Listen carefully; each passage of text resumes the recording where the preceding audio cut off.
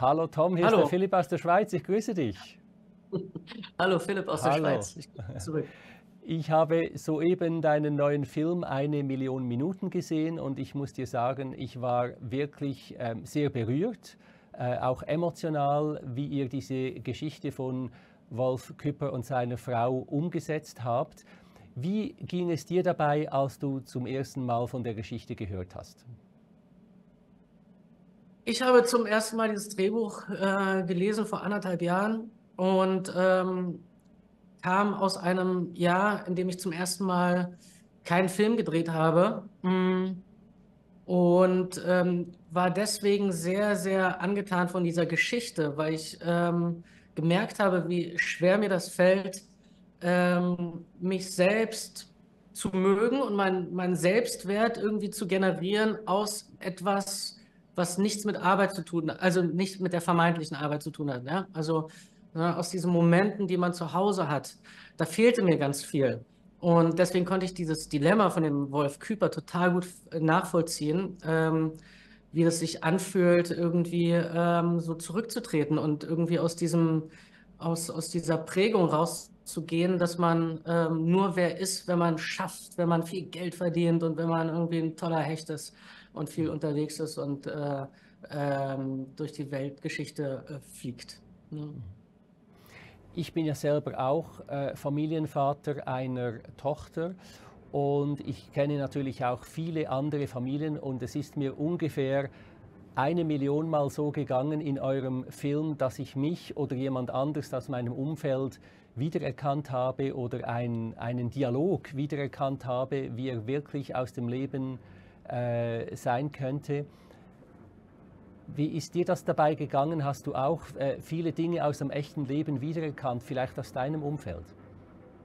Na klar, das ist eine, also auf jeden Fall eine sehr lebensnahe Geschichte für mich. Ich, also schau, wir sind alle, die meisten äh, haben eine Familie. Ähm, äh, die meisten äh, Freunde, die ich habe oder äh, die, meine, meine Blase ähm, haben alle sehr aufregende Berufe, arbeiten viel und versuchen irgendwie alles unter einen Hut zu bekommen.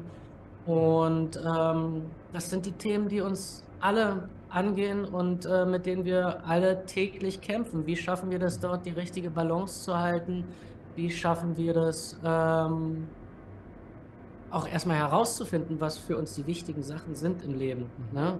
Und äh, ist natürlich auch die, ist natürlich auch die Zeit, ne, die mit 40er, da macht man, schaut man so auf sein Leben, muss, muss so ein bisschen so eine äh, Bilanz ziehen, ne? bis, bis hierhin, äh, wie, wie, was ist bis hierhin passiert und jetzt habe ich ähm, vermutlich noch mal 40 Jahre, aber die ersten 40 Jahre kommen ja auch schon nicht zurück. Ne? Mhm. Ja, genau. Hast du den... Gelebt. Genau. Hast du den echten Wolf Küpper, hast du den getroffen für die Vorbereitungen? Ähm, also ich habe ihn getroffen. Wir hatten ein, ein gemeinsames Essen mit Caroline Herfurth, ähm, dem äh, Christopher Doll, dem Regisseur und ähm, der echten Vera und dem echten Wolf Küper. Ähm, um jetzt wirklich mich für die Rolle vorzubereiten, war das, glaube ich, jetzt gar nicht so wichtig.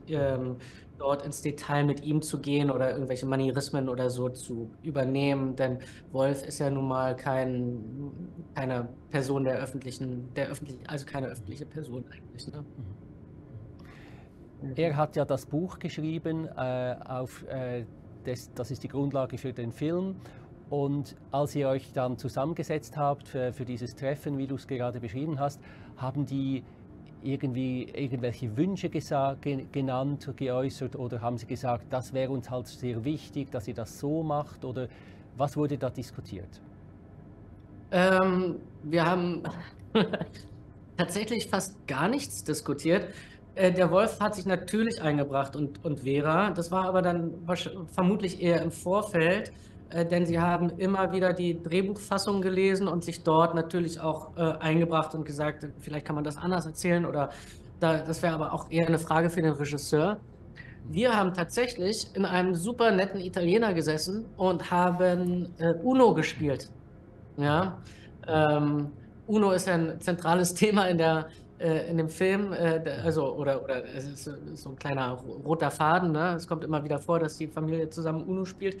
Ähm, und ähm, da kann man so ein bisschen seine Scheu ablegen. Ne? Es ist natürlich auch immer ein bisschen klemmig oder äh, aufgeladen. Ne? Da kommen die Schauspieler, da kommt der, der Autor des, des Buches und jetzt treffen die sich und so. Da ist mhm. äh, das UNO-Spiel dann ein, ein, toller Icebreaker.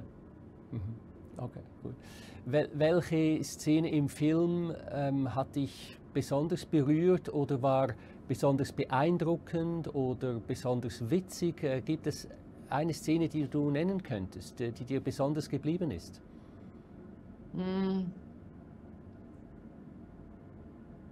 Ich mochte zu spielen ähm, eigentlich viele Szenen mit dem, äh, mit dem Vater. Ich äh, kann mit diesem Vaterkonflikt wirklich äh, viel anfangen. Also die Erwartung des Vaters an sich selbst, äh, an seinen Sohn, ähm, die, die Wolf irgendwie abschütteln möchte ähm, da dieses, dieses Gefühl nicht zu genügen, das hat schon Spaß gemacht, das zu spielen.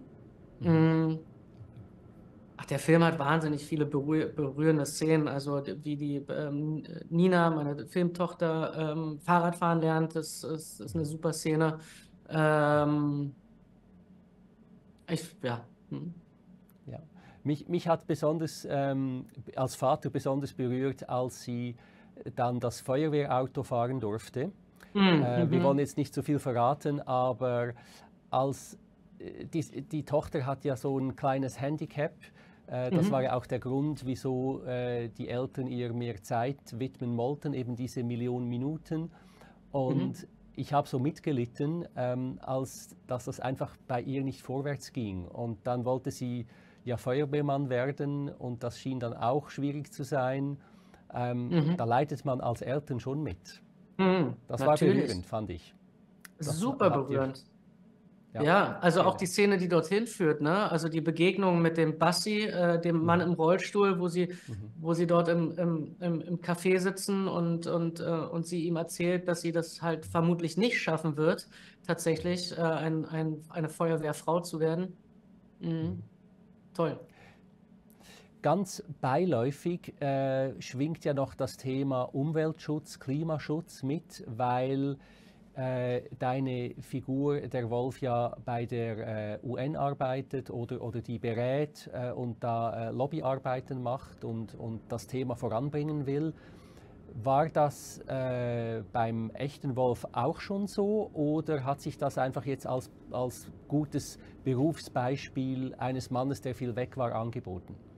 Nein, nein, er ist, er ist wirklich Biodiversitätsforscher mhm. und hat äh, viele Forschungsreisen gemacht und mit seinen Ergebnissen und mit seinen ähm, äh, äh, Forschungen die äh, UN beraten, wie sie okay. zukünftig ja. in solchen Fragen agieren soll. Mhm.